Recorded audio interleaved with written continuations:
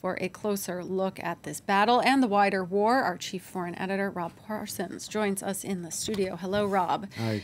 Uh, what do we know about the humanitarian situation in Kherson right now, and if Ukraine is close to launching an attempt to retake the region?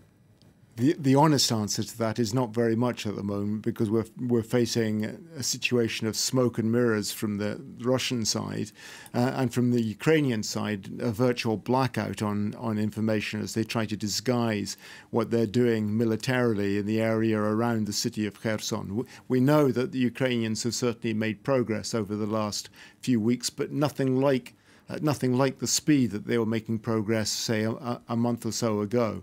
Uh, but what they're doing is they're pressing the Russians up against the Dnipro River big river behind Kherson. Uh, and the the dilemma facing the Russians, and this is what this is all about at the moment, is should they stay uh, and fight for what is an important gain for them in this war, one, one of the few important gains, Kherson city, or should they retreat? And if they retreat, uh, what would the psychological consequences of that, that be and strategic? So the Russians are trying to make up their minds about whether they should pull back or not.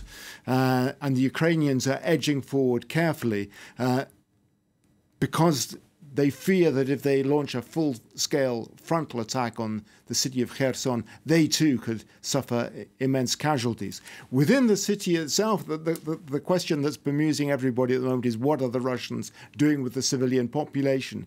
Is there an evacuation, in inverted commas, deportation, as Ukrainians say, going on full steam ahead or not. Vladimir Putin has been calling for the removal of any remaining citizens for their own safety, he says. Uh, and we've heard just, uh, as you mentioned in, in, your introduction just now, that there's a blackout in the city of Kherson. The question is, was it caused by the Ukrainians, as the Russians said, or the Russians deliberately sabotaging the electricity supply in order to force people to leave the city? There are so many questions at the moment, but there's no doubt that Kherson itself remains the key at the moment to the conflict between Russia and Ukraine. If the Russians lose it, psychologically, the damage will be immense. Mm-hmm. Now, a lot of attention on Kherson for good reason, but in recent weeks we have also seen Russia strike across the country in yeah. Ukraine, uh, not just in occupied areas. What is life like in the rest of the country right now?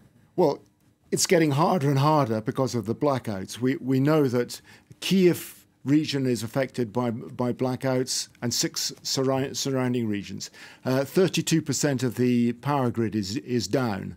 Uh, in Kiev, uh, where there are 3 million people living at the moment, many have left, of course, over the, the last few months, uh, the city mayor, uh, Klitschko, has been warning people to consider the, worst case scenarios. There may be a complete blackout if the Russians, as is expected, continue to try to degrade the power system. In that case, he said, people have to be prepared to evacuate the city. And he's suggesting that those who have family homes in the countryside should consider that possibility. Rob Parsons, thank you so much for that look at this very important story. And we'll be checking in with you later on in the day as well.